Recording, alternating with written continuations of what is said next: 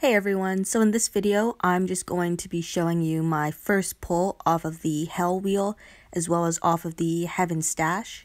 So I ended up buying these three bags for 50 coins for some Hell Ruins and you know I'm not exactly sure if we're going to be in short supply of them but at only 50 coins and based on like how many we need to actually get these Hell keys or Heaven keys and stuff I just thought it was kind of worth it to do.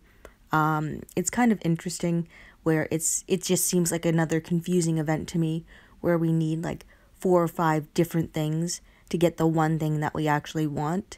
So this whole event, Hell Hath No Fury, like we're trying to get an S-class toon called Dylan, and I will do a video on him after I am done with my finals. So on the Heaven Stash, there is up to 6,000 Dylan cards, and that would be enough to get you the S class. Assuming you get the first one, which is for it's either two Hell keys and five Heaven keys, or vice versa. And then there's also a guaranteed after 125 pulls off of the Hell wheel, you can also get a five star ascendable Dylan. You can also pull Dylan off of that wheel specifically. So you do have a decent opportunity to actually get him. Everyone's going to get at least a five star version. I'm guessing the Epic Ascendable Chase is really supposed to be Dylan. 9% chance at Epic Ascendable Recruits. Legendary gear, other gear. There's even common gear, which I don't think should be included on this wheel.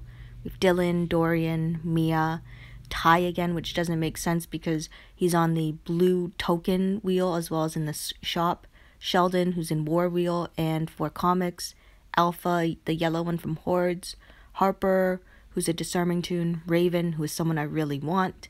Uh, is someone I pulled from War Rewards, and I actually really like her. Doc Stevens, now he would be the prime toon that I want. And I have no idea what the odds would be to actually pull that specific character.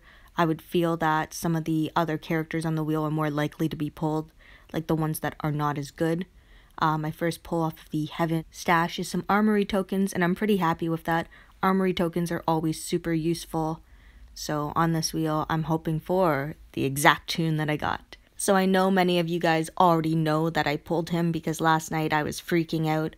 I posted on my YouTube community tab, on my Discord, online. I have not posted on Facebook, but this video is going to go right up on there. I am so excited because I think even though he's a six star, and I think that a lot of people are starting to say that, you know, he's kind of going out of style, I can still find some great uses for this character, and I'm so excited to level him up. I also find it to be a little comical that I just made a turn 1 defense video specifically without Dr. Stevens, and now I just pulled him off of a one pull, and considering I've seen people get like hard helmets and police shields and stuff, I just, I feel really lucky to have gotten this toon.